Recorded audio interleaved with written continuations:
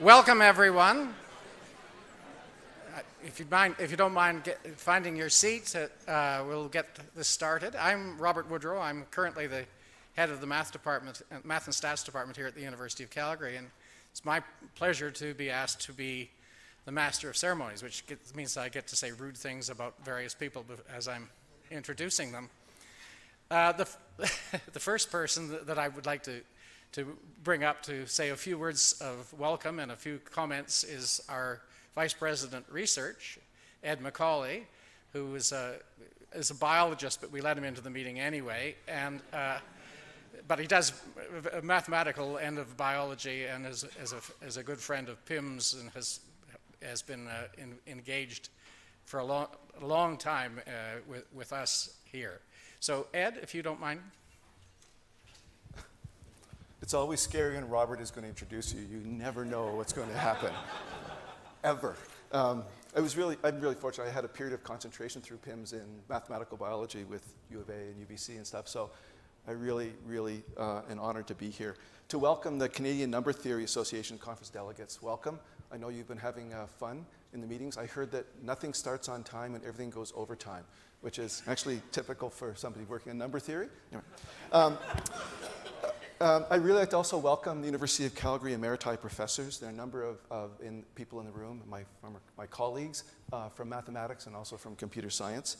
Welcome to our faculty who are present, our staff, um, and most importantly, our alumni. I notice there are a number of students here that have gone through the mathematics program here that had the pleasure of, of being influenced by Richard Guy um, and the mathematics department.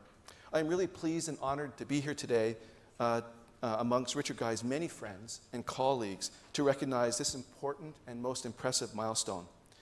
Like the University of Calgary, Richard Guy is celebrating a milestone birthday this year, and it's no secret to anybody in the room. In September, he'll be turning 100 years old. This year, the University of Calgary is turning 50 years old. How is that, right? Um, and at last week's convocation ceremony, Elizabeth Cannon, for the convocation for the Faculty of Science, Elizabeth Cannon, the president of the University of Calgary, acknowledged among, for all of convocation Richard Guy's career and his milestone year that's coming up. Um, it was really delightful to see the response of the audience when Richard Guy stood up on the stage and was applauded by the entire young cohort graduating from the Faculty of Science. It was amazing. Richard Guy, as I mentioned, joined the university before it became independent. And this is an anecdote that Robert has shared with me that really, I'm really excited about. It is fitting to honor Dr. Guy's 100th year at the University of Calgary's 50th year because Richard made the motion at our academic council, our general faculty's council, which we, people from the math conference will be aware, governs the university. Richard actually made the motion that the University of Calgary be named the University of Calgary with a capital T. Um, and that capital T is very, very important. Thank you, Richard, for making that motion. it wasn't defeated, so as it happens in many academic senates, right? So it was really good. Uh, Richard, as many of you know, was head of department, um, uh, and during his headship, many of the group of faculty members who built the department and who are now just retiring from the university were recruited. Um, in those early years, Richard's contacts in number theory, graph theory, and game theory helped to put the University of Calgary and the Department of Mathematics on the world stage um, by recruiting a rich suite of eminent visitors to the university. And this continues to this day with the high profile speakers he invites to give the Louise and Richard Guy public lecture each September. Um, although Richard retired at the age of 65, the only real change in his activities was that he didn't have regular undergraduate teaching to do. He could spend his time mentoring the next generation of mathematicians and really influencing the department in how it evolves. And also to vote his time for the subject that uh, people are attending this conference, unsolved problems in number theory. And everybody here recognizes his books on game theory with John Conway and Elwyn Berlekamp, as well as some more than 100 papers that Richard has produced um, and published. And I think a highlight for many people in the room, I met a few of them, is Richard's influence on young mathematicians. And that, I mean, that's a tremendous uh, service that you've provided to people in Calgary who've had the benefit to interact with you. I have a little anecdote. When I first was first recruited to the University of Calgary, I won't say when, 1985. Anyway, um, I went to my first Faculty of Science Council meetings, which many of you know are really exciting affairs. Sitting in front of me, to, down below me, on the seat below, was this gray-haired mathematician, gray-haired person who spent his entire time during that Faculty of Council Science meeting working on game theory problems. And as a mathematician, I could recognize that. Sorry. Um, I guarantee you it was the most productive thing that was carried out at that Faculty of Science Council meeting. and Ken Barker, the former Dean of Science, can account for that. Anyway, so um, I really want to highlight uh, Richard's and his wife Louise's passion for wilderness, their hiking and cross country skiing until just before Louise's death. Their contributions were recognized by the Alpine Club of Canada by naming uh, the hut of the Wapta Glacier after them. He continu- Richard continues to thrive and give invited lectures across North America, and his support of the Wilderness Association saw him climb the Calgary Tower at the age of 99, a record. This is an event every year that's held.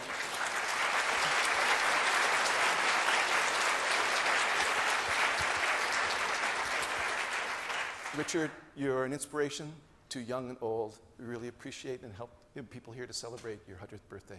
Thank you.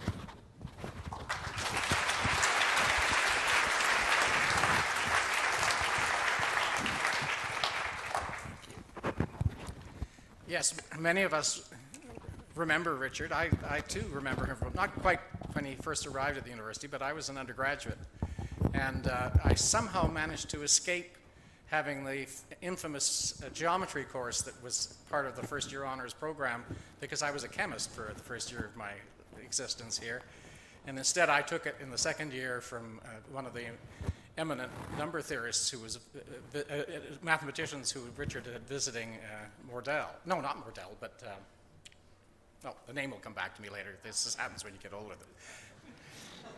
The, the, I'd like next to uh, introduce the speaker who's going to tell us about uh, some things about Richard.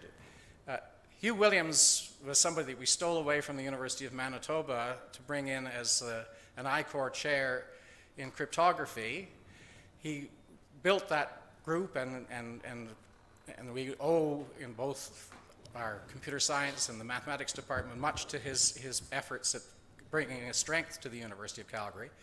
But then he, he sort of became less visible here because at, towards the end of his career, he was seconded to uh, Ottawa as the head of the Tutte Institute, which has, has uh, top secret classified work. So he now was referred to by Ed, uh, just when we were ch chatting just before the uh, talk, as our ghost professor. So it's my pleasure to call on our ghost professor, Hugh Williams to give us a few clouded remarks oh, about uh, Richard and Richard's career. And number there.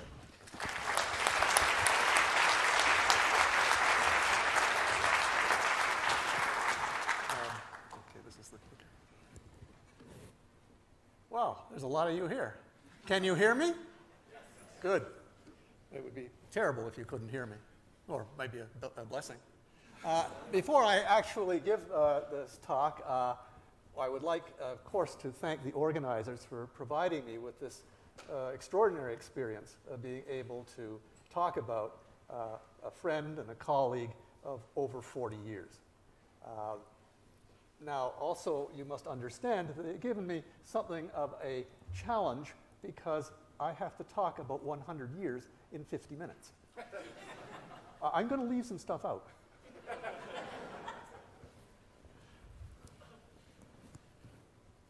do I, how do I do this? I'm going to hit the wrong thing. No one gave me a lecture. and I'm, I'm old, so I'm technically incapable. There. Oh, it's those ones. Those oh, okay. Ones, side to side. All yeah. right, all right. Thank you. Ah. So I like this picture, and I thought I would start the talk off with it because it really uh, shows uh, Richard and Louise in their favorite place, and that's the mountains. They just loved to be in the mountains, and they did an awful lot of climbing. Ed referred to that earlier in, in his remarks.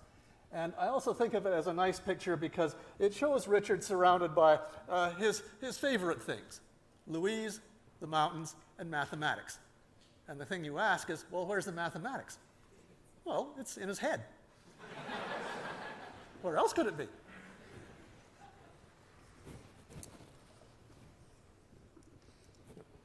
I'll do that a lot. So everybody starts off uh, being an idea in somebody else's mind. And uh, this is Richard's father, uh, William Alexander Charles Guy, known as Wacky. I guess if you have initials that are WAC, you're going to be called Wacky. And uh, Wacky is, you see in the picture, is in the uniform. Oh, does anybody recognize that uniform? An Anzac uniform. He was in the Australian New Zealand Army Corps. And, he, and you wonder, well, if he was, a, if he was a Brit, a Brit, what was he doing in that uniform? Well, he had gone to the Perth boys' school to do, to do some teaching. That must have been quite a challenge getting to Perth back in those days. Anyway, he, he, did, he, he did some teaching there, and when the war broke out in 19, and, and it, it, broke out in 1914, but I think he ended up in, 19, in April of 1915 uh, being sent to Gallipoli. Now, I don't know how no, much you know about Gallipoli. If you go to Australia, you'll learn a lot about it. But uh, it was a meat grinder. An awful lot of people were killed. It was just terrible. But uh, Richard's father survived. We have evidence of that.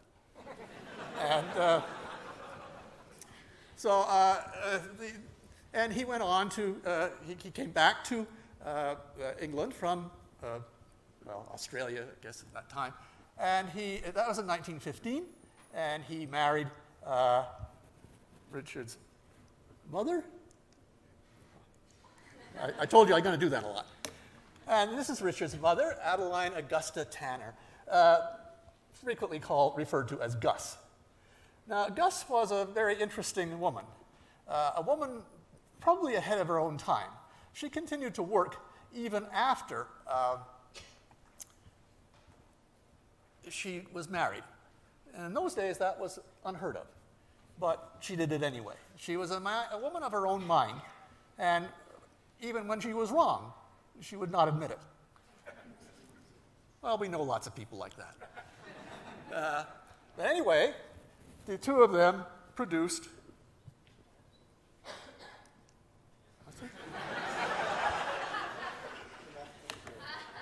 The two of them produced Richard on uh, September the uh, 30th of 1916.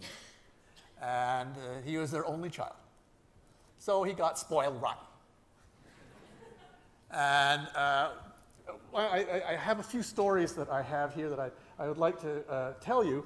And uh, it's best if I do this by reading them. I don't want to lose any of the flavor. But Richard so, showed signs of precocity quite early in life. And after his first day in kindergarten, three year old Richard told his parents, who were very eager to know, how the day had gone. And he said, It was all right. But the teacher doesn't know much. she asked me what the shape of the world was and other sorts of things that I thought she should have known.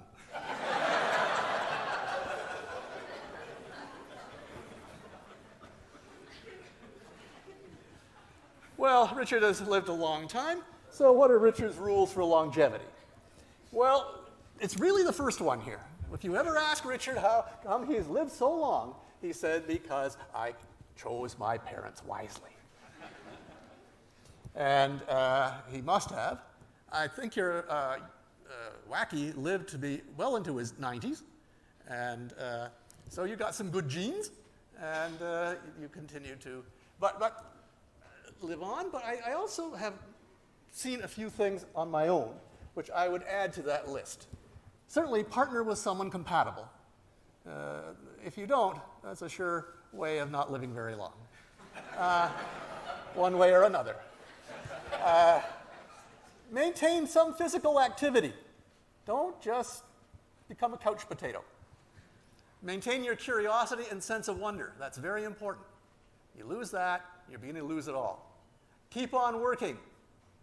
In other words, exercise your mind. And be around young people. Young people keep you young. You hang around old farts like me, all you're hearing about is bunions and prostate problems and everything. it, it, it ages you. So keep around young people and, and you do better. And he, this is something that he has done. Ed already referred to the effect that he has had on, on young people here. It's been quite profound. Let's see if I can get this right. It's 50%. So here's Richard's, here's Richard's view on aging. I know it's ridiculous. I clearly look like an old man, and I know no doubt behave like an old man, but I feel like a kid. What a wonderful thing to be able to say. His education. Aha. Well, he got his uh, uh, bachelor's at uh, Cambridge in 1938. It was a second class honors. He majored in bridge, chess, and snooker but unfortunately, none of them were on the curriculum. So he didn't do particularly well. He goofed off. I've seen students do this. We all have if we've been profs. So he realized after having graduated with second class honors that it's going to be a kind of hard to find a job. Uh, so he went and got a diploma in education at Birmingham, Birmingham University in 1939. And uh, then he was prepared to work. I should say that both of his parents were not overly keen about that because they were school teachers and they knew how little it paid. Uh, he received his master's degree from Cambridge in 1941. Notice that three years passed, that's what had to happen. Three years had to pass. Then you signed a piece of paper and you gave them five guineas, and you got your degree. That was how it was done back then. Now, here's a very wonderful event in Richard's life. He married Louise Thirian uh, in December 21st of 1940. And uh, my wife insists that I tell the story of how they met. And clearly it wasn't on an internet dating site. so again, I will read from my copious notes. It was through Louise's brother, Michael, that Richard and Louise met. Michael, who was three years younger than Richard, had also gone to Warwick School, the same school that Richard went, the public school. I think it's the third oldest school in England. And uh, so uh, Richard first met Louise. When Michael came to Cambridge, because he was three years behind, so Richard had already been there, and, so, and Michael came to, to take a look at the rooms that he would occupy. And Louise came with him. So, uh, fine, he met her, but uh, he then met her again at Michael's home in Nottingham. And to quote Richard, I was meeting Michael, and I wasn't really bothering much about his sister. We were just interested in mathematics. well, it turned out that Louise knew that Richard liked to dance. Yes, a mathematician that liked to dance. It can happen. It's not common, but it can happen. And Richard was one of these exceptional people uh, that, that, for which this held. And so what she did was she uh, invited him to a dance uh, that was nearby. And uh, Richard went because he liked dance, so did Louise. And I guess they had a great time because they kept seeing each other. And I know at one time Richard actually finally got around to actually, uh, how, how, can we put this, uh, taking the initiative and invited Louise to go to the Lake District, to the mountains there. Well, I don't know, you've ever been in the mountains in the Lake District? They're not mountains, they're hills. But especially if you see the things that are over there. But uh, the, it's, a, it's, a, very nice place, and, uh, and, and, both Louise and Richard loved climbing even then. So, and from that point on, uh, things just took their course.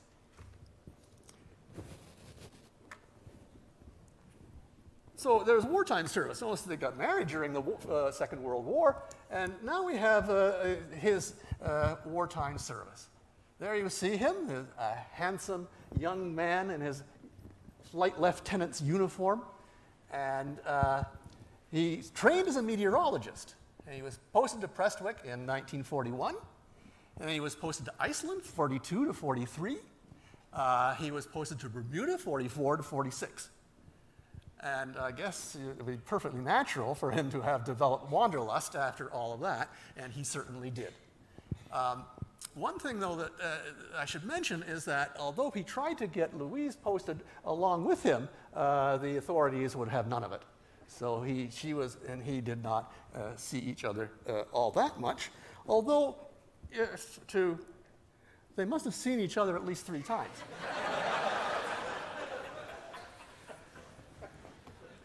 So there's the, the, a pretty family picture there the, in, in, the, in the, in the mid 40s. Uh, let me go on. Now, I want to talk a bit about Richard's career. Uh, from 1939 to 47, he was a mathematics master at Stockport Grammar School. He was always very good at mathematics, so he ended up teaching mathematics. I think that Richard really liked to teach, and it didn't really matter whether they were uh, youngsters or, or older, he just loved to, to do that. He then went off to, uh, uh, but you know, sometimes uh, these things are uh, limiting in your, in your future. So he went off to Goldsmiths College. Uh, you probably don't know that. It's associated with the, I guess, uh, London University. and at that time, it was a teacher training school. So he was there and he was a lecturer in math. But he got, again, this was kind of limiting. And so he looked around and he, he, he sent off his resume to a number of places.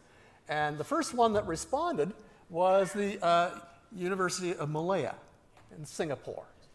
Uh, and they said, Yeah, you want to come out here? And so off he went. Now you got to remember that at this time, poor Louise was looking after uh, three small growing children. And she had wanted to nest a little bit. But Richard wanted well, the wanderlust, right? So he wanted to continue to, uh, to, to go and see new places and also get a, a better opportunity. This was a, a, a, math department. It was a, somewhat nascent one, but it, was, it had uh, good potential. And uh, while he was there, he managed to uh,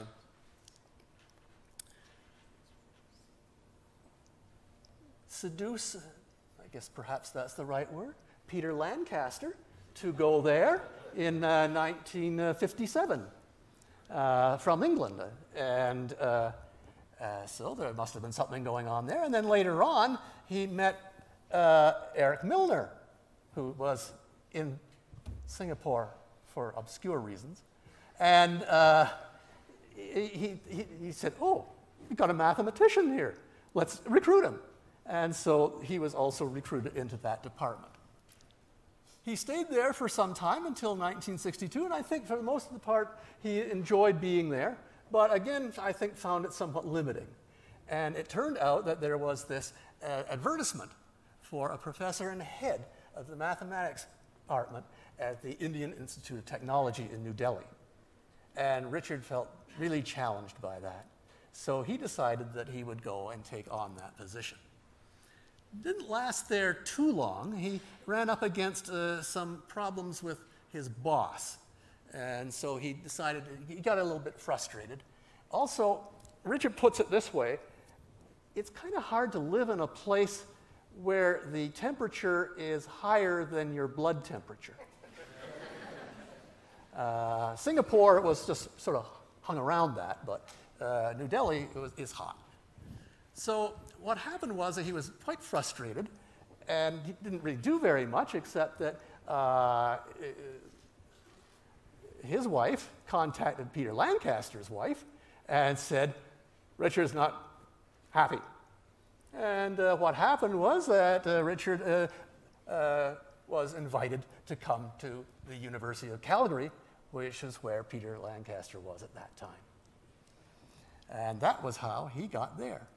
And then Eric Milner followed you a little bit later.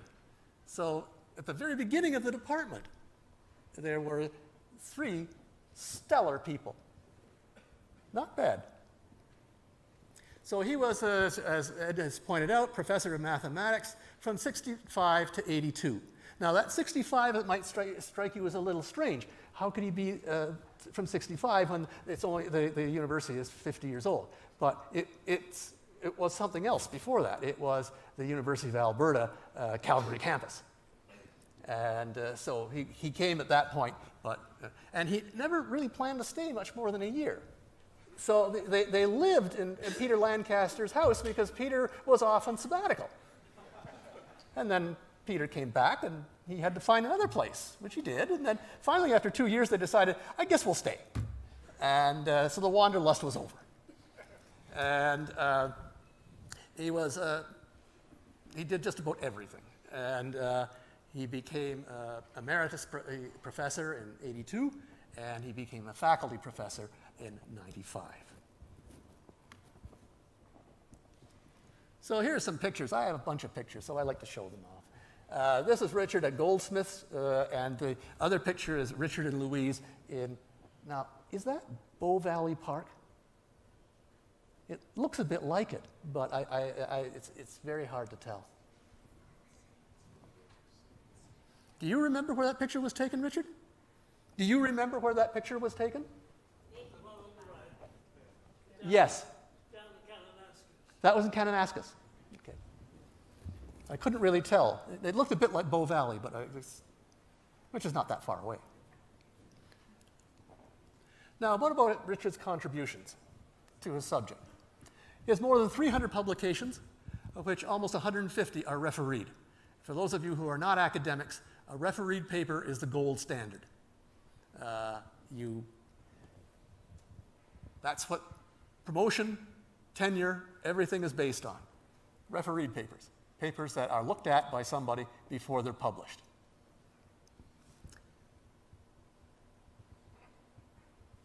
They're in areas like combinatorics, graph theory, geometry, game theory, and number theory. Game theory, I wonder where that came from. Misspent youth? As Richard puts it, jack of all trades, master of none. Well, perhaps. He supervised five PhD students, nine master's students, and numerous undergraduates. He wrote or co authored seven books, but I'm going to stick to number theory here because this is the CNTA. So I'm going to just stick to his number theoretic contributions. So he, wrote, he, he did reviews in number theory from 19, uh, the, the 1973 to 83 year. It was a six volume work. It was a great deal of work because that was really before computers were around to do some of these things. And he wrote Unsolved Problems in Number Theory. Unsolved Problems in Number Theory. This is a really great book, and I'm not being paid by Springer to say so. if you have any interest at all in number theory or mathematics, read this book. It will, it will inspire you. It's really a remarkable piece of work. Now, what does Richard think about all of this? Well, I suppose my small claim to fame arises from the fact that mathematics owes more to those that ask questions than those who answer them. Not that I've asked that many questions, but I've collected them from others, especially Erdős, and then hawked them around. Mike Bennett and Ben Green have both told me that their early inspiration came from unsolved problems in number theory. As we heard earlier today, they were by no means the only ones. Uh, so it's, it's, uh, this is his view. You always have to remember to take what Richard says with something of a grain of salt, perhaps even a boulder. so why mathematics? Why did he go into mathematics? Well, Richard says that it's because it was through a process of elimination. He didn't like anything else. Uh, actually, he, he, did like chemistry and physics, but he, he was high, very much influenced by a very active and sympathetic and competent mathematics instructor in school, and he was eager to have him study mathematics. And then when he was 17, he purchased a copy of Dickson's History of the Theory of Numbers. Now, this resonates with me because I got a copy of Dixon at about the same age, and he fell under its spell. It is easy to do. Perhaps not so much now, it's a little old fashioned, but when I saw it, it wasn't so old fashioned, and when Richard saw it, it certainly wasn't so old fashioned. and the cost of the book at that time was six guineas. That's a lot of money. and It was more than he paid for his master's degree.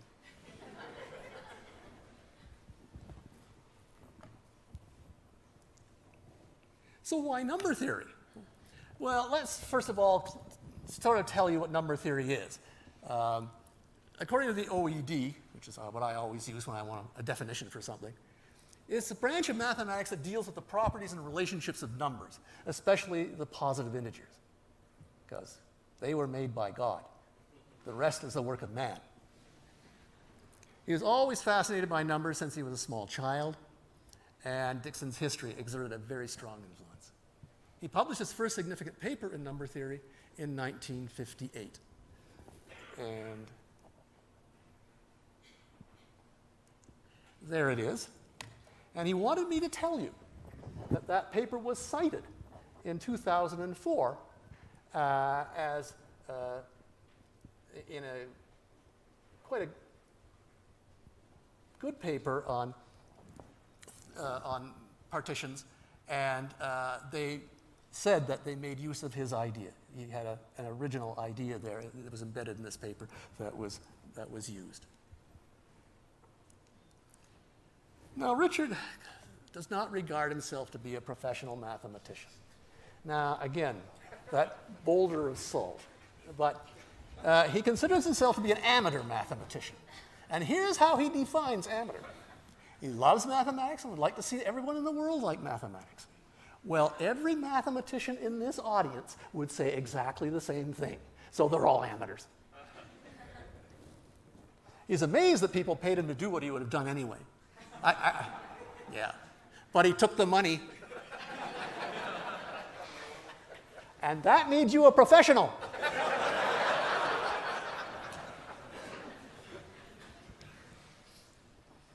so, Richard's sense of humor, it's been talked about a bit. Uh, and he, he did have a remarkable sense of humor. It's extremely difficult to define. Uh, so, I'm going to do this with an example. This is what we do in mathematics all the time. When you can't really do anything, do an example and maybe people get the gist. Uh, so this I received in my mail on my 70th birthday. 2 times 5 times 7. Well, that's 70. That's 3 squared plus 5 squared plus 6 squared. Sum of 3 squares. Also, these triangular numbers here. Well, those triangular numbers are, if you want to know what they are, uh, they are, they represent the numbers 10, 15, and 45. Adds up to 70. And then the text begins. And uh, I would point out to you that I, my middle name is Cowie. It's, uh, it's, it's actually, I was named after my grandfather, Hugh Cowie, in the hopes that my mother would receive his fortune. Okay. Here's the text. You'll notice it's somewhat, there's a lot of animals.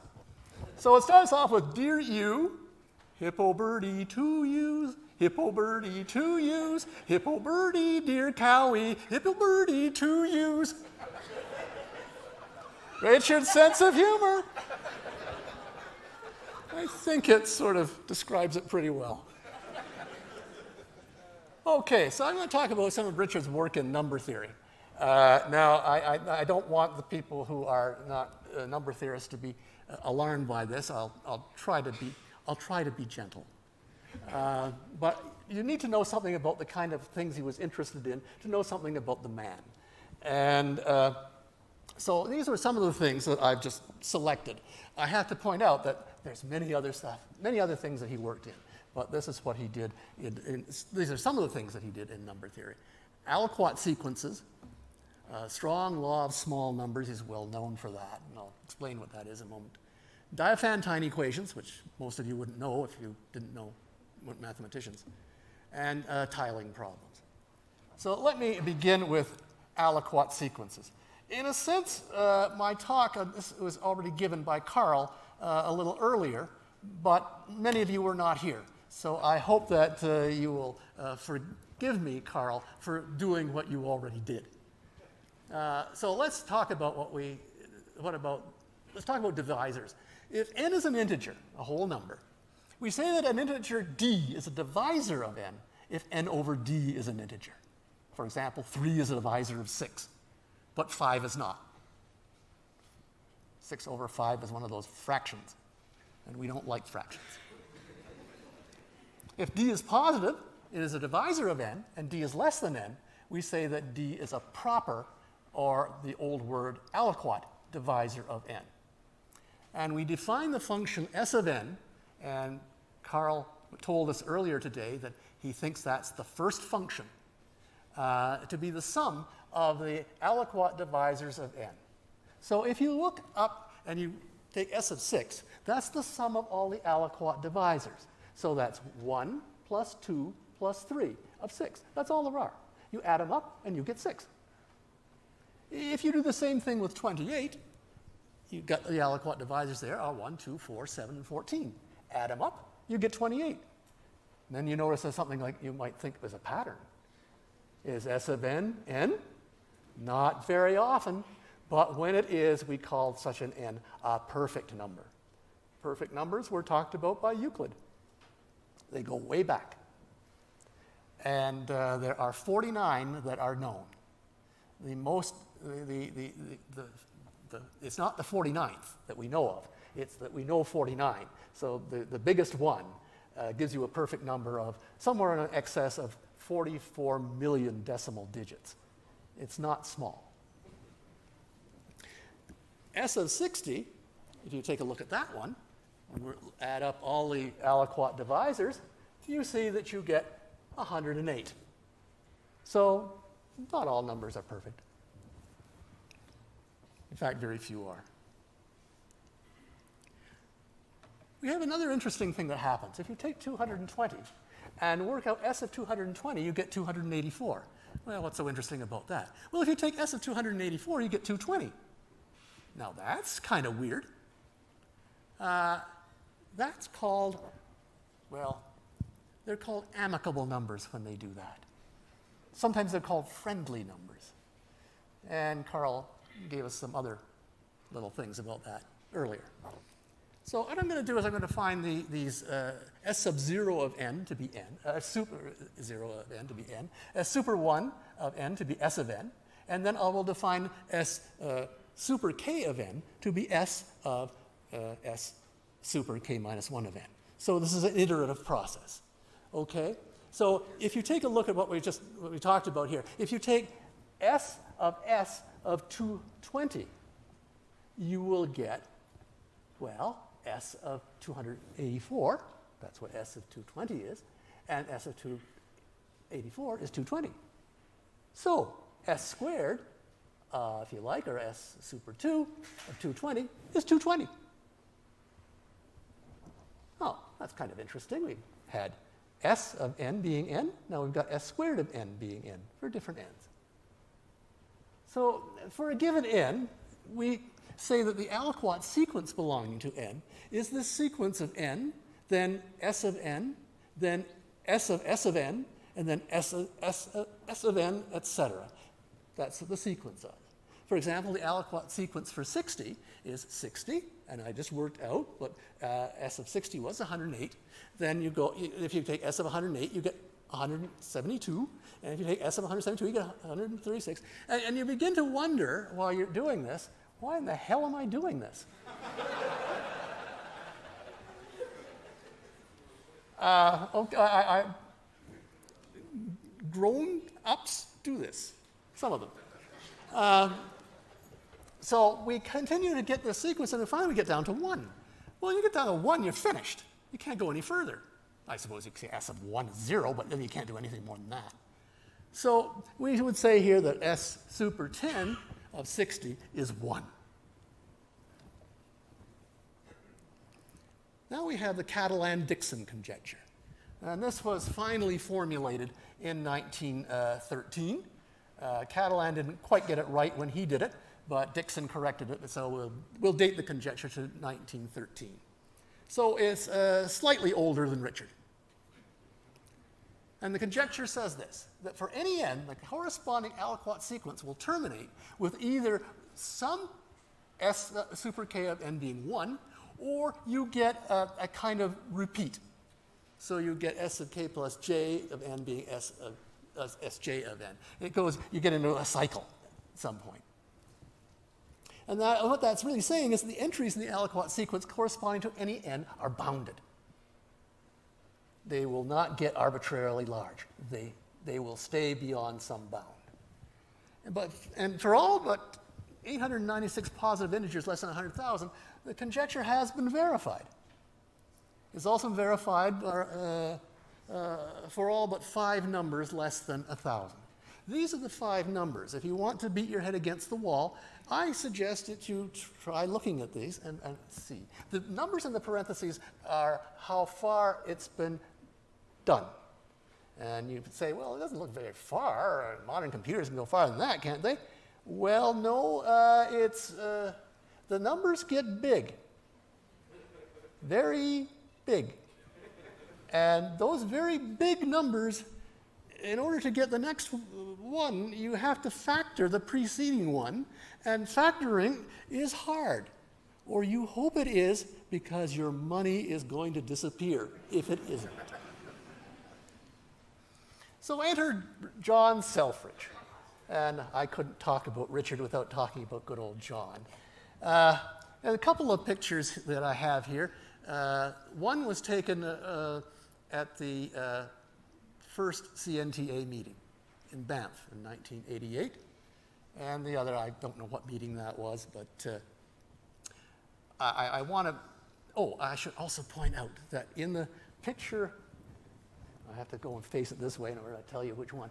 Uh, on the left, the person on the extreme right is Alf van der Poorten. Alf van der Poorten was a prominent ma- uh, Australian mathematician, but I remember him best for his statement that there are no bad talks. There are good talks and there are useful talks. And Richard is a firm believer in Alf's dictum. It's a talk that's not so wonderful, you see him there working away. He's, it's going to be useful.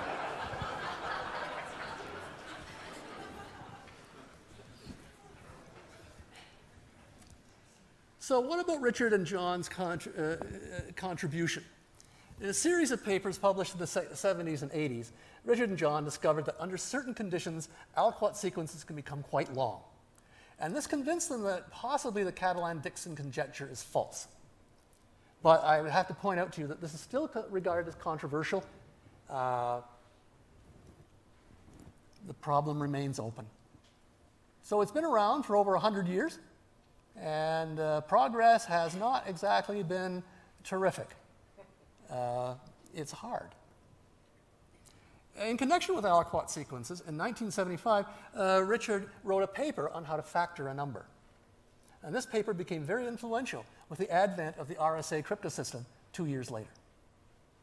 It, uh, it, had a number of ideas in it, and these ideas were worked on, and uh, uh, much of what uh, uh, factoring became started off with the things that were in that paper. Now I want to talk about Richard's strong law of small numbers. This is essentially two laws. The first one is, he states as there aren't enough small numbers to meet the many demands made of them. okay? Or he quotes something else. He says, When you notice a mathematical pattern, how do you know it's for real? Take a look at this example. Number 31, 331, 3,331, and I'm not going to say the others. They're all primes. And they're primes all the way down to this one. I'm pointing at this and I should be pointing at that. Uh, and so you begin to think maybe, are they all primes? Well, of course not. Because if you look at the next one, it's not a prime. It's divisible by 17. Then Richard has a, a second law. When two numbers look equal, it ain't necessarily so. well, this is, this, is, this is actually quite a profound remark. Uh, but before I do that, I have to introduce the, the my, I'm going to do an example, but I'm going to introduce the Fibonacci numbers. Uh, this, these have been talked about here a lot, but again, not all of you have been here. So if you put f0 equal to 1 and f1, uh, f0 equal to 0 and f1 equal to 1, and compute any fn by this uh, rule that uh, the fk, the kth one, would be the sum of the two preceding it. So uh, f, if you take a look at that, you get certainly the F2 is 1 because it's the sum of 0 and 1, F3 is 2 because it's the sum of 1 and 1, uh, etc. So that's how you produce the Fibonacci numbers. Now, there is a great deal of lore about the Fibonacci numbers. There are whole journals devoted to the Fibonacci numbers. Um, I'm not going to go into the details of them. If you are interested in them, uh, you can find them on sunflowers uh, and, and, and, and, pine cones. And note that F, I, I will want, I ask you to observe one thing that Fm is a divisor of Fn whenever m is a divisor of n. And a sequence that has that property is called a divisibility sequence. So the Fibonacci numbers are, represent a divisibility sequence. So if you take a look here, you take a look at F5, and you'll notice that, well, F5 divides F10 because 5 divides 10. And all the others are the same in that way. Well, it, do we have an occurrence of the Fibonacci numbers? Well, let's let E denote Euler's constant. And most of you know Euler's constant or have been bedeviled by it in first year calculus or uh, high school calculus. If it's just a number and it's this number that I've written down there and it never ends, it, it keeps going on and on. Uh, it's the least, now let's take a look at this the least integer not less than e to the n minus 1 over 2 for no apparent reason.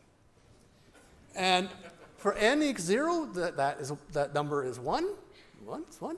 Look, those look familiar. Looks like the sequence is the same as the Fibonacci sequence, which would be truly remarkable. Because in fact, for n 10, 11, and 12, the series continues as 91, 149, 245 not what they should be if they're going to be Fibonacci numbers. So it ain't necessarily so. Take a look at this one, the, the, the, the second example that sits on that slide.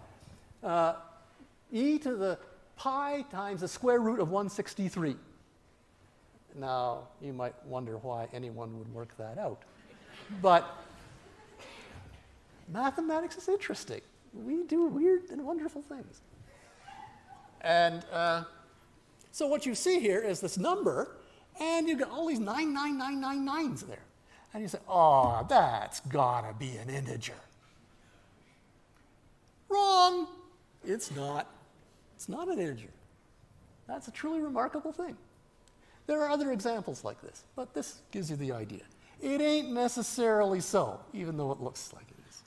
Second law of strong numbers. Second strong law of numbers. So let's talk about Diophantine equations. Diophantine equation is an equation for which we constrain the solutions to be integers. So as, take a look at the example that I have there, the Diophantine equation, uh, x squared minus 7y squared equals 1. And I say, I want you to solve that. I want you to get me integers that satisfy it. And what you notice is that 8 and 3 work. 8 squared is 64, and uh, 9 times 7 is uh, 63, and the difference of those two things is 1. So it has a solution. The picture over here, you will see two people that you've seen before, and the person in the middle is Andrew Bremner. And Andrew Bremner has written many papers with Richard. And here is an example of one of them. In 1993, uh, uh, Andrew and Richard and his former student, Richard Nowakowski, studied the following problem. What integers n can be represented as x plus y plus z times 1 over x plus 1 over y plus 1 over z?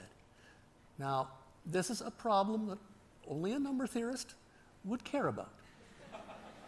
but nevertheless.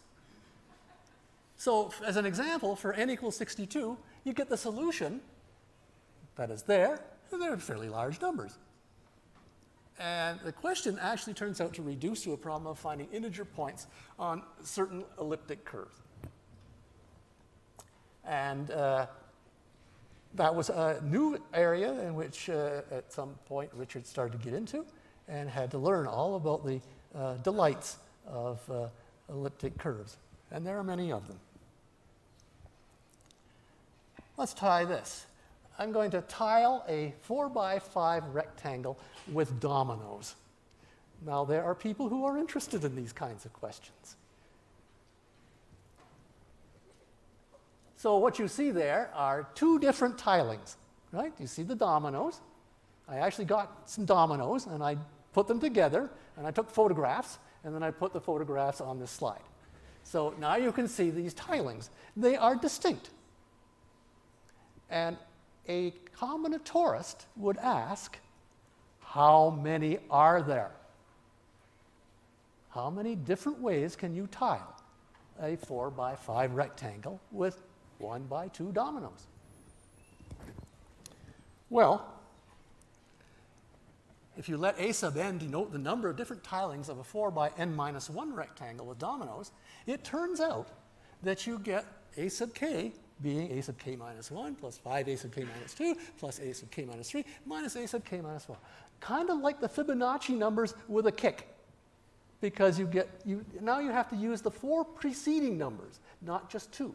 And you've got some coefficients in front of them uh, that, that are not ones. And if you actually work these things out, you, here are some of the things. So the, the answer to the question uh, of the tiling of a 4 by 5 uh, rectangle would be 95 different ways.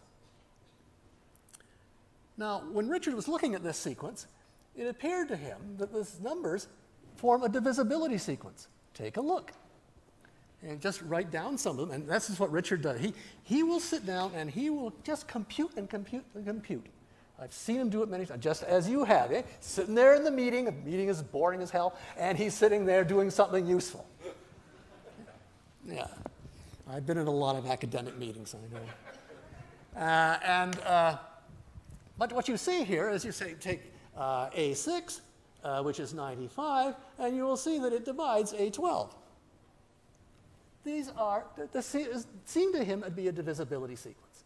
So he brought this to me, and he knew I was interested in questions like this, and uh, it's led to a, a collaboration that's been very fruitful and we have written several papers on questions like this in the last few years. Well, that's just some of the stuff that he has been working on. But I want to talk about, although it's already been alluded to, the Richard and Louise Guy lecture series. The lecture series was a gift uh, from Louise to Richard on his 90th birthday. It uh, celebrates the joy of discovery and wonder in mathematics for everyone. So the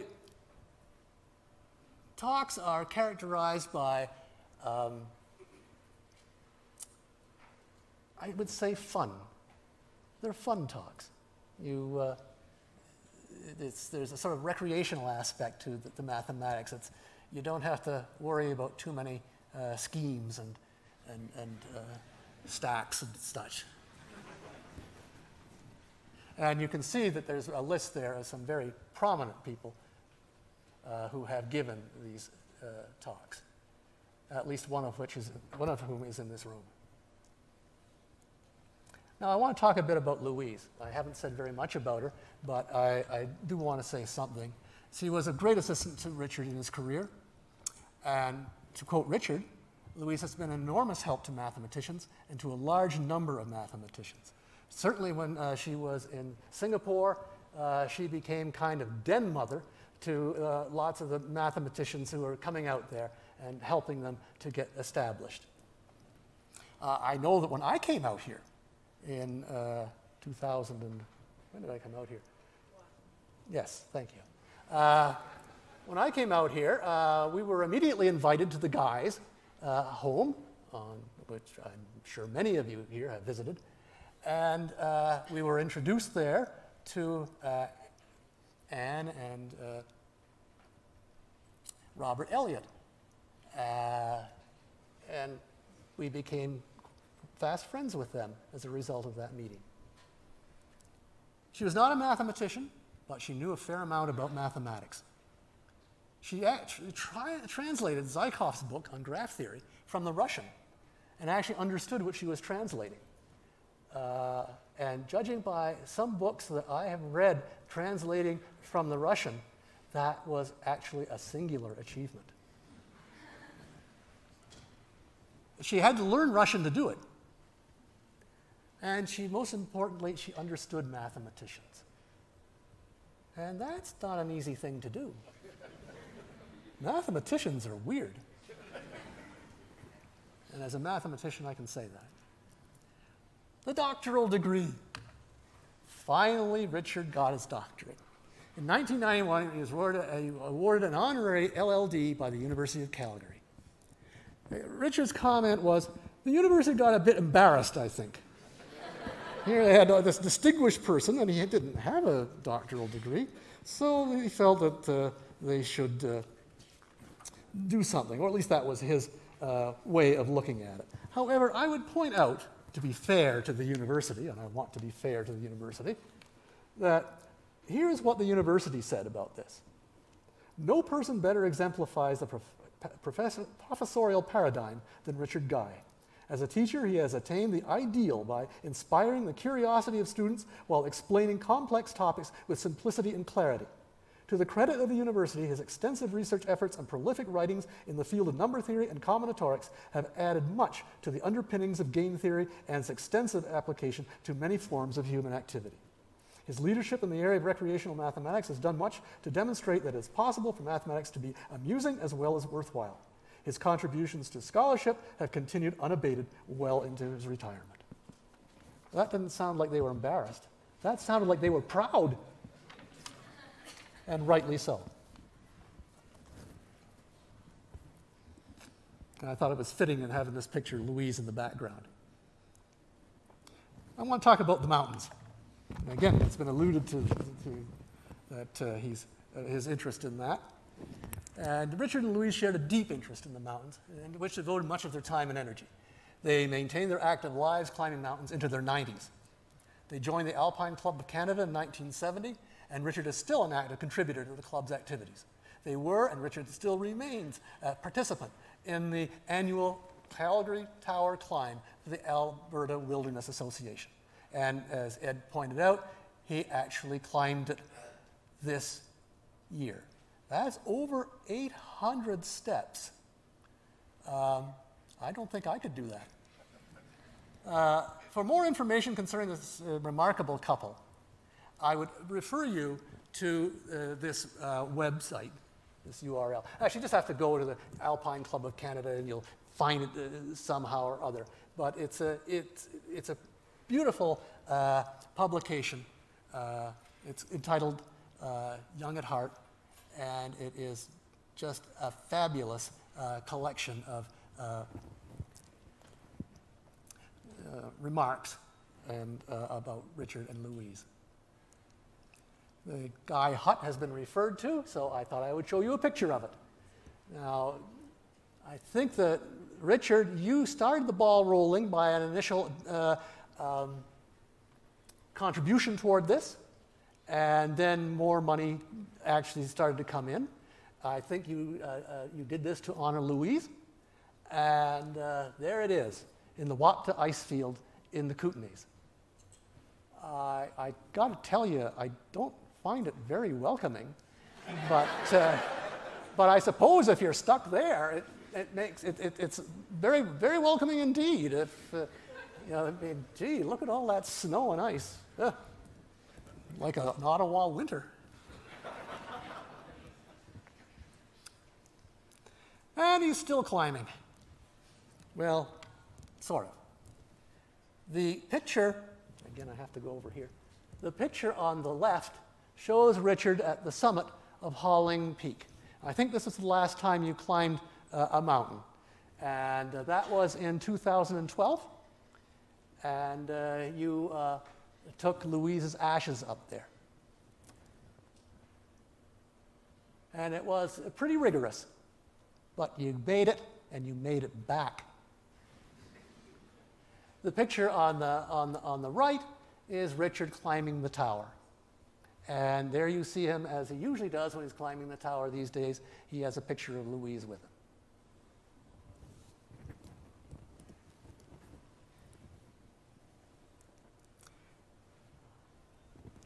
I'll leave the last word, in a sense, to Richard.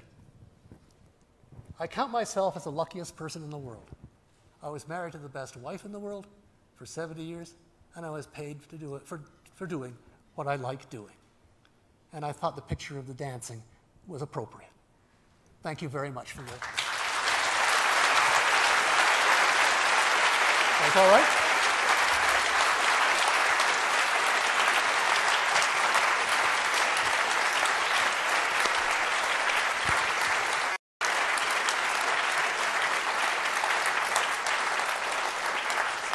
Thank you, Hugh, for a very inspiring talk. This uh, talk was, is being streamed live, and there's an opportunity for some questions.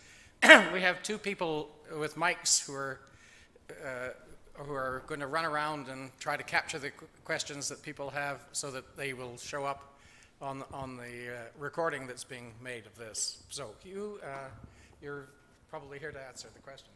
Actually, um, there is a greater expert in this topic in the audience. Yeah, well, you might have to refer. Richard, would you like to come up?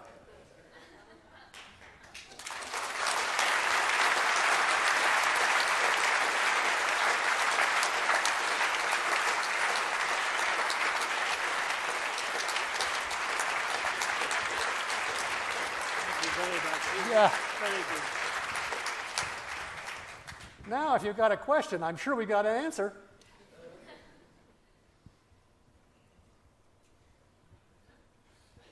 No, no questions. You must have told I, all the truth. I, I guess more I, than the truth.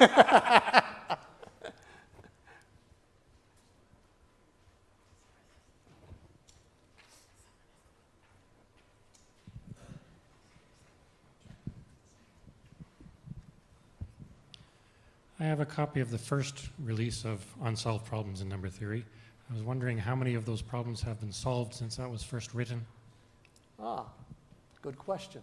How many of the problems in uh, unsolved problems in number theory have been, how, how many have them been solved since it was first written? Not very many, actually. There you go, not very many. But they keep being inspiring. Each edition gets thicker and thicker.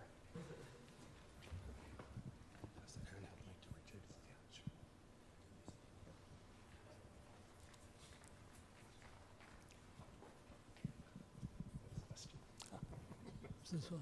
It's for you. Any further questions? Oh, Oh, Mike. Hi, Richard. Um, I, I recall when my son first met you, he, he said, Richard Guy, are you the guy who invented gliders in the game of life? And can you tell us if that's true? Did you invent gliders in the game of life? Uh, yeah, I discovered the gliders, yeah. Yeah, the gliders. So I think many people have seen the game of Con- life. It's a little Conway's Game video of game. Life. I don't know. Conway's Game of Life. That's right. Not many of you may know it, but uh, it's a very popular sort of game. Uh, the, an example of a. Hold the mic up closer to your, Hmm? hold the mic up closer to your mouth. Sorry. Um, yes, the um, Conway's Game of Life. Um, you, you you start with a uh, square array of cells, uh, some of which are alive and some of which are dead. And uh, the next generation, uh, a cell which was dead but uh, was adjacent to just three other cells which were alive becomes alive.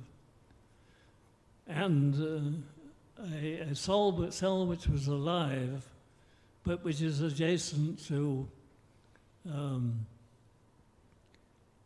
uh, as, as, as few as uh, one or as many as uh, four, I think it was, three or four um, dies. And um, uh, I happened to be in Cambridge at the time when uh, John Conway was investigating these uh, these ki- kinds of machine, and um, we were all uh, with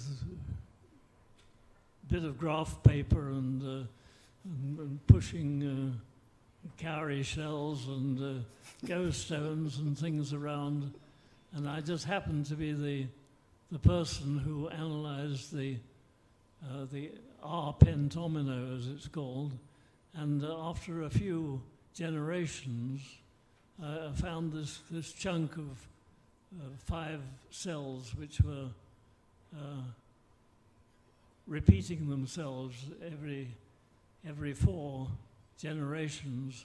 And this led to the glider. And um, of course, this meant that uh, Conway was able to prove that his uh, game of life was, in fact, a, a universal machine, uh, assisted later by um,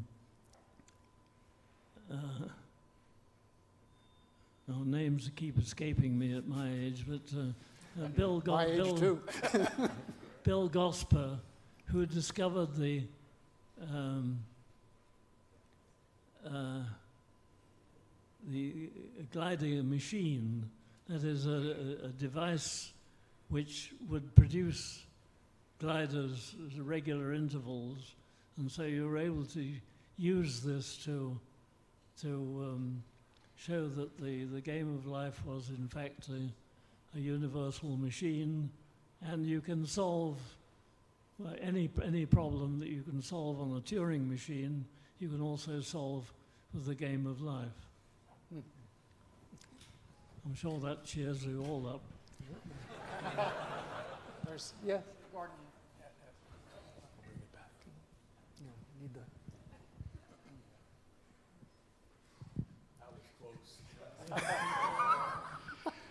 What uh, um, unsolved problem was the most frustrating in your life, and which one did you eventually conquer?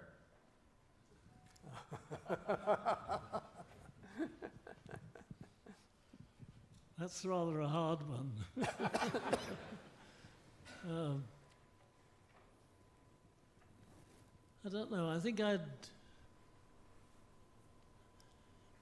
One of, of course, there are many, many problems that I'd like to know the answer to, and I think the the one about aliquot sequences is the uh, is uh, one of the ones I'd like most to know the answer. Unfortunately. Uh, uh, well, you've heard um, Hugh talk about them a little bit, and some of you may have heard Carl Pomerance earlier talking about them. And um, uh,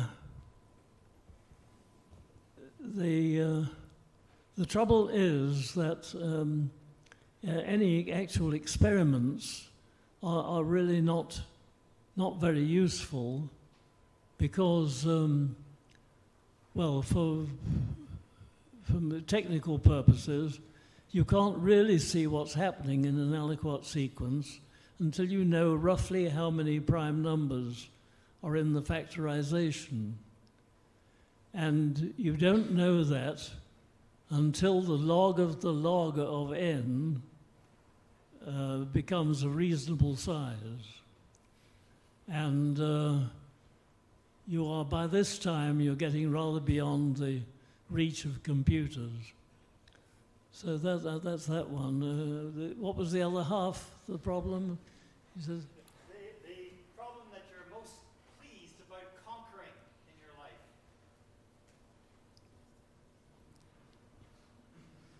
Have I conquered any?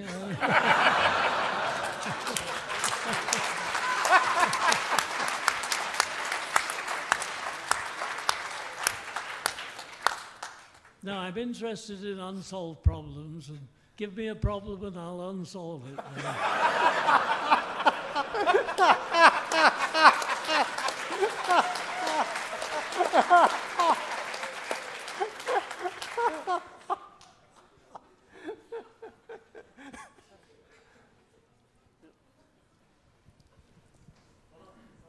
Mark's coming. Did you find you were more productive in the office or while you were hiking? Um, I think I do my best work when I'm asleep. I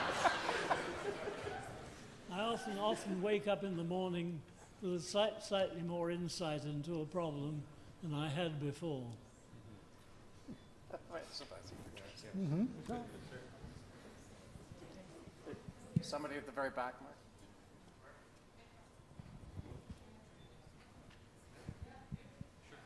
Oh, maybe not. Okay. So I'm wondering, after 100 years, there's a lot of memories to look back on. Is there any one memory you would single out as being the most memorable, the most, the thing you enjoyed most Is in your 100 years? Sorry. So, what, what, would be the most memorable thing that you enjoyed most?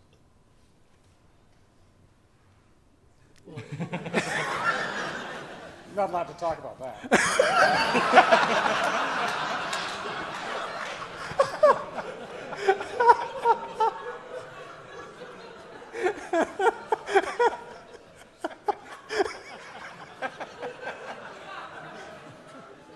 I'm not touching this.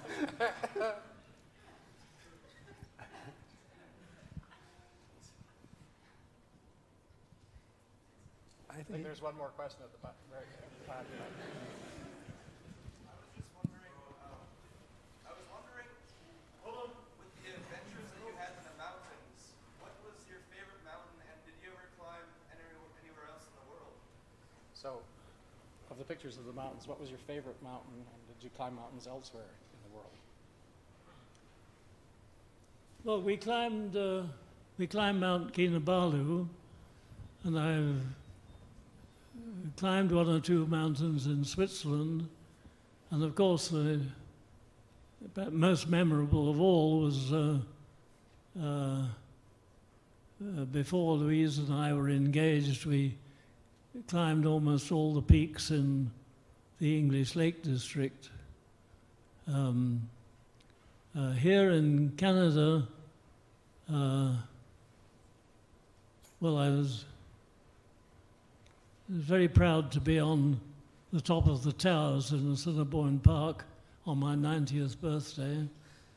And um, uh, I think also another favorite is Haling, which uh, I think Hugh mentioned. Uh, I took Louise's ashes up onto the top of Haling when I was 95, and that's about the last mountain I climbed, really. That's probably it. I think so. Thank you, Richard. Th- Thank you, everyone, for coming. There's a reception to follow in the Eel Building, is that correct? Uh, And it will begin when we get there, I guess, is the, is the, is the answer. So uh, if you don't know where the Eel Building is, follow the herd. Uh, I'm sure that there will be people who are taking the lead. You did well. Thank you again, Hugh and Richard.